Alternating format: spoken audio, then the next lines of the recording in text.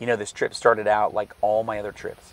Excited to get out again in the backcountry, anticipating some relaxation at camp in a beautiful setting, with expectations about how I thought the trip would go. I aired down to 8 psi and I was on my way. Little did I know the adventure that was in store for me.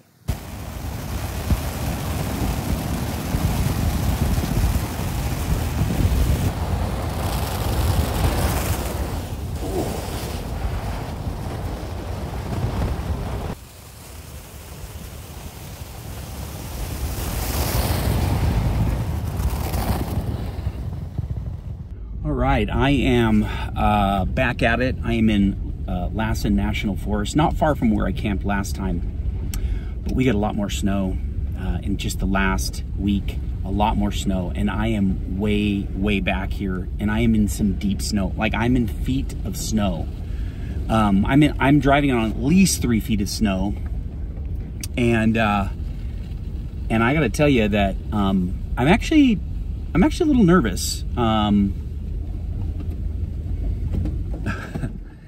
I am uh, way, way back in here, and the snow is real deep. So uh, we're going to see if we can't get into our campsite, uh, but it it has been quite a challenge.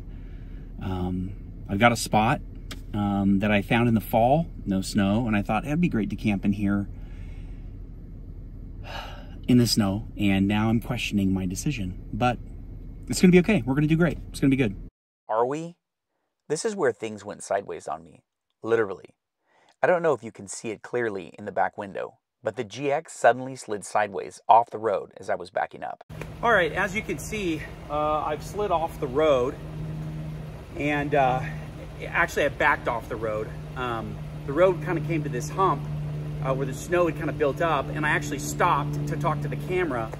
And when I tried to go forward again, I started to slide, so I backed up and I slid some more. So I've actually backed off uh, into the, the side of the road here to try to actually get repositioned. That may have been a mistake, I'm not quite sure.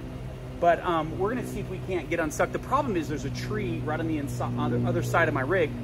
So obviously I don't wanna slide into that. But thankfully, my back rear tire is actually on dry ground. It's soft, but it's dry ground. So we're gonna try to get uh, turned around and see if we can't get ourselves out of the situation and back uh, on the trail to get this camp spot.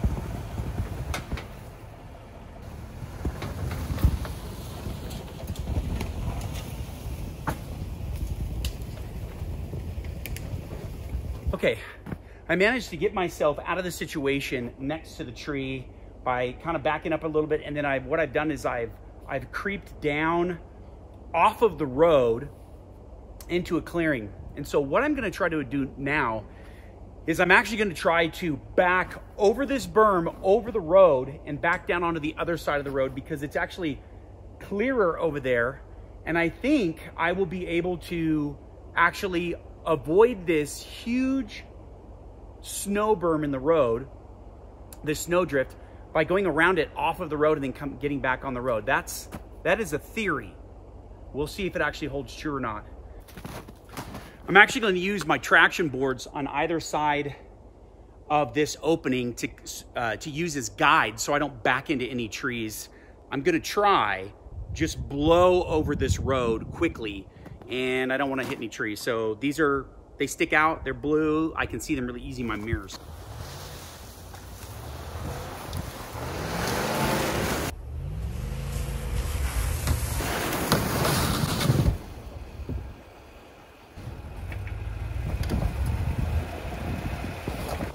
Okay, so despite what it looks like, I feel better off than I was before. So let's see if we can get this baby all the way up the road. Okay, this is good. I just have to be careful because there's a tree about two feet uh, behind me here on my left that, and the ground is sloping. So I don't want to slide into that tree.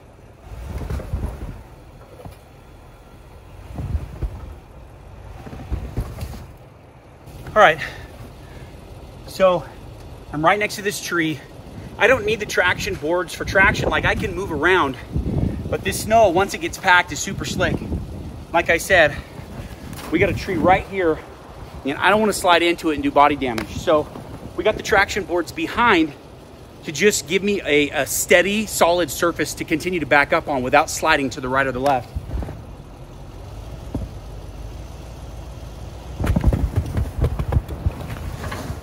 All right, so this is exactly what I want. We're exactly where we want to be.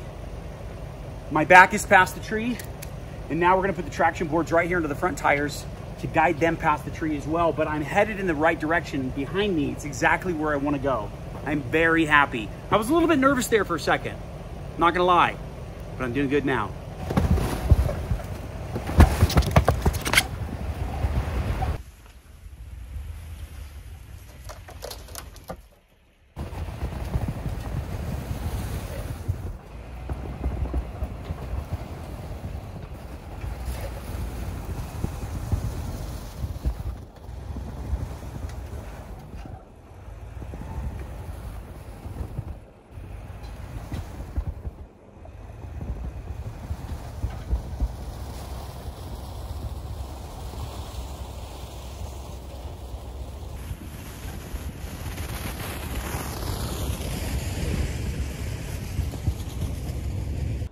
Okay. Ah. We are, I, I, wouldn't say I'm totally extracted, but I'm sitting pretty. I don't have any obstacles around me.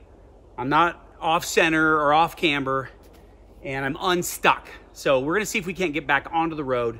The campsite that I've got, that I'm aiming for my map is right around the corner. So we are so close. Well, you guys, I am officially unstuck, back on the road, and the campsite's right around the corner. I gotta tell you, I'm so impressed with this GX. She is heavy. Soccer mom is heavy. This is a heavy beast. So when I get off like that, all that weight's wanting to throw me off to the side. But this, this girl knows how to wheel. And I am so pleased with how she did in this whole mess of a situation just now. So on to the campsite.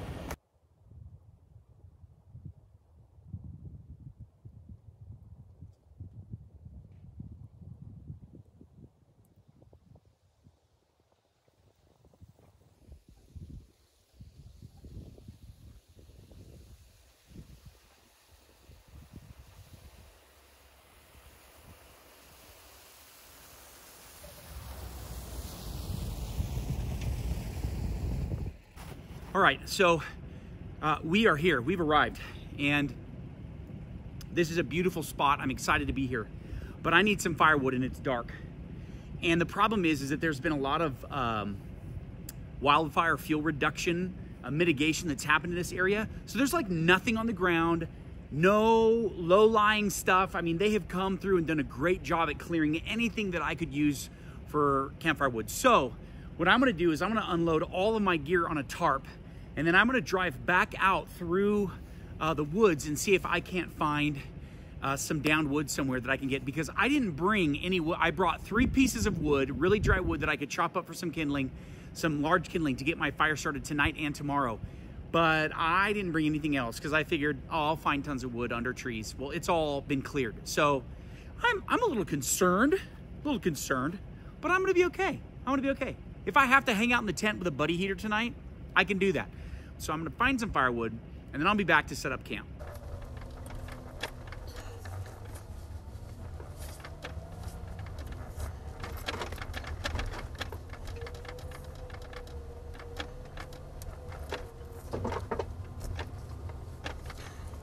All right, so I've just been driving through the woods in the middle of the night. There's no, I'm just driving through the forest. The snow here is about a foot deep, so I'm just kind of hanging out under the trees.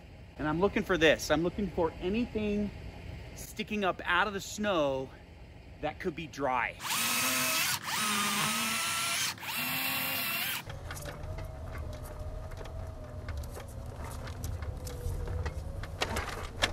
All right, guys. Well, we are back at camp. Uh, we have some wood in the back of the GX. It's pretty wet, but if we can get the dry stuff get real hot, we can put the uh, the wetter stuff around it, and I think it's going to do fine. So the first step is we're gonna get the kitchen set up, and I'm gonna get some hot water going for a mystery dinner tonight, just like last time. And then uh, we will get a fire started, and then we'll set up the tent and get my bed situation uh, all taken care of. All right, guys, kitchen is set up just like last time. Simple. Single burner, pot, water, and we have some mystery food. And we have some sourdough bread. I did not make this sourdough bread, but it's from a local bread shop in town, uh, and it's amazing. So we are gonna do the same thing like last time. We're gonna uh, put the food in the pot, pour some water almost up to the top, light it, cover it, and let it go. Now, this is where this idea really, really shines. So it is 928. I just got done uh, pulling some stuff out of the back, the wood that I collected, got the kitchen set up, and I do not want to cook tonight, right? I still have to get a fire going and get the gazelle set up. So the last thing I want to do is try to cook. So the beauty of this meal is it's frozen. All I got to do is put it in this pot and heat it up and I can work while my dinner is cooking. I don't have to do anything. And on a night like this, that is the perfect type of dinner situation for me.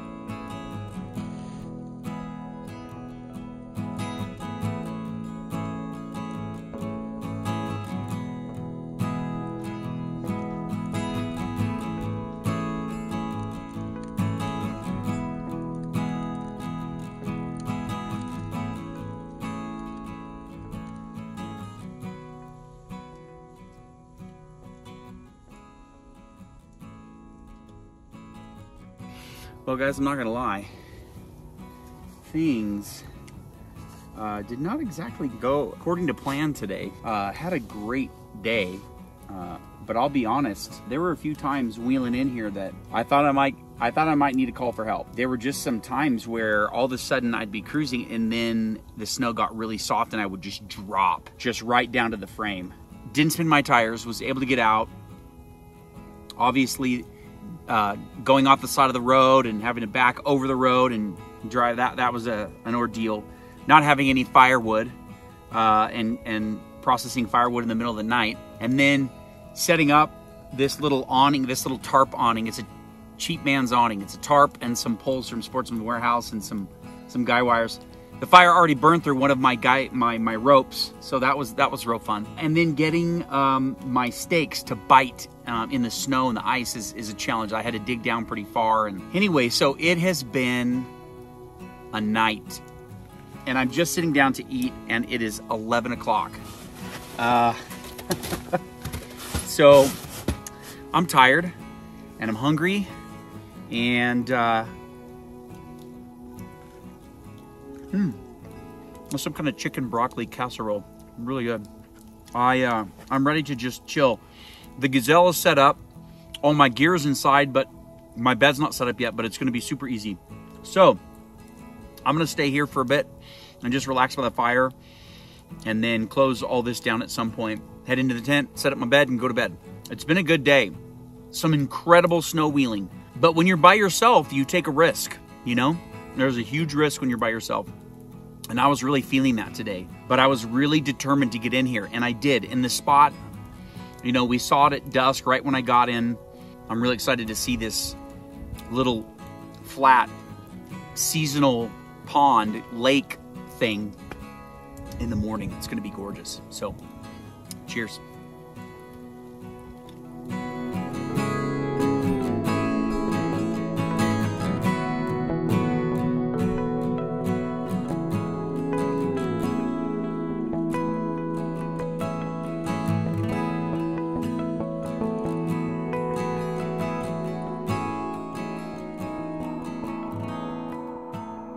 It was a good day. Um, it's nice to sit here by the fire. I'm so thankful my wet firewood is burning. It's been uh, lightly snowing a little bit on and off. Even though I can see the moon, uh, there's breaks in the clouds. There's still a little bit of snow coming down. It's quiet. Every once in a while, there's some kind of night bird I can hear. It's great to be out here.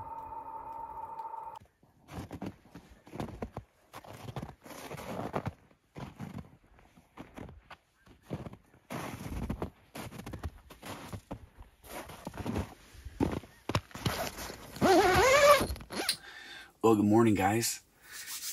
Uh, uh, I slept okay. Um, not amazing, but, but okay. Um, I, I, I kept just thinking about, um, getting stuck on the way out. and, uh, that kind of, uh, occupied some of my mind, which, um, I would wake up and kind of think about that. And at one point I was thinking, I'm just going to wake up. I'm just going to get up and go. I was a little bit concerned that if, if the temperature was too warm, then I, I really want that snow to firm up so that when I drive out, um, there's a lot more traction. And, uh, I was a little bit concerned that it wasn't going to get very cold. The snow was going to be super soft. And as I was, cause there's some uphills that I need to make, make it up. And so I would wake up and I'd be thinking about that. And there's no worries because the low was 17 last night. So the snow and it's 20, 20, 25 right now. So, uh, no worries about the snow firming up. Um, it's, uh, to be nice and crusty and hard. Um, and that'll, that'll be good for getting out of here. So I feel really good. Um, I'm to get out of my pajamas and get out, uh, and get some coffee and, and a fire started and enjoy this spot for a little bit longer and then pack up and get out of here. All right, dressed, bedding is rolled up. I think it's time for the morning reveal.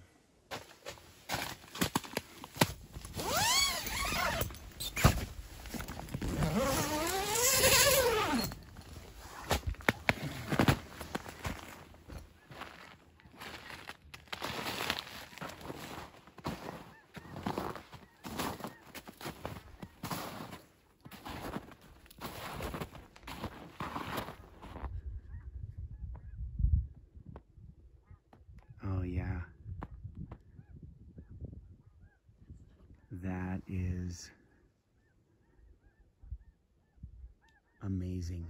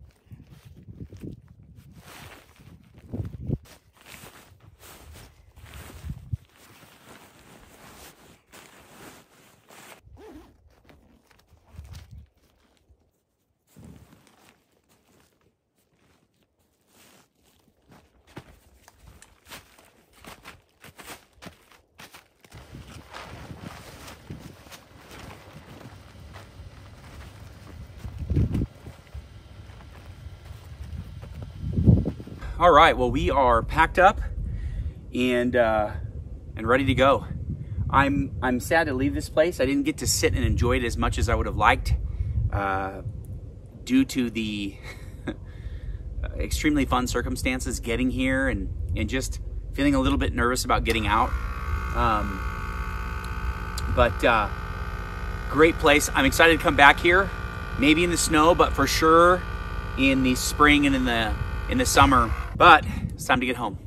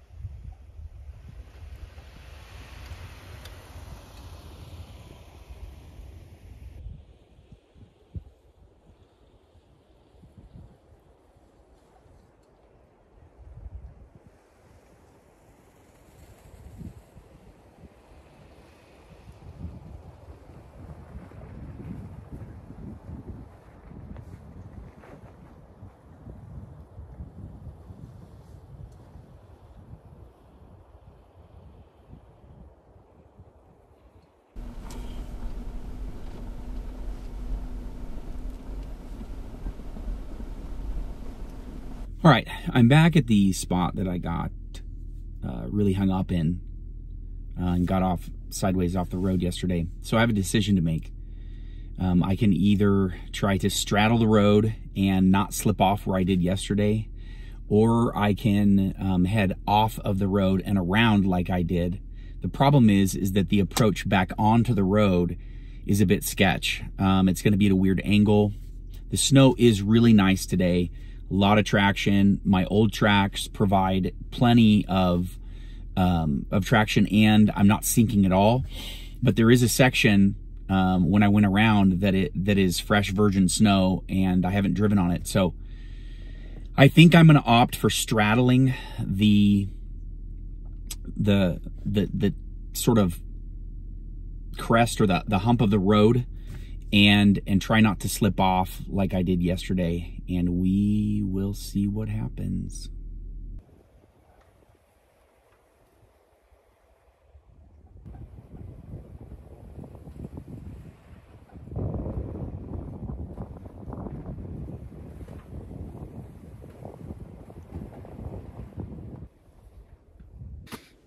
All right, um, exactly what I was concerned about is happening. I keep slipping either to the left or the right on the crest of this hill.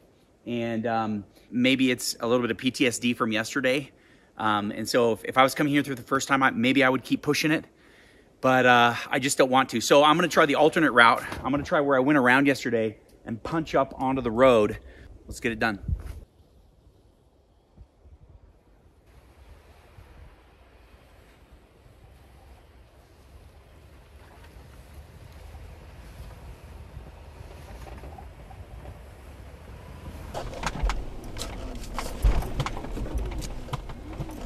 All right, we did it. Uh, I, I feel so much better getting past this spot and uh, really don't have any concerns about anything uh, coming up. So, um, Lord willing, uh, we're going to get up there and be airing up in no time.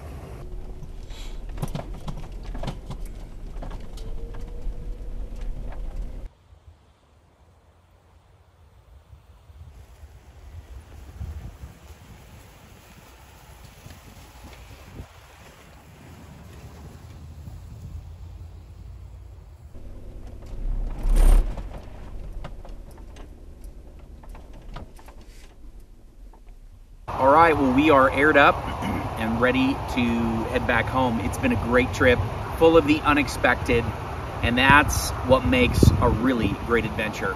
Thanks for watching. Catch you next time.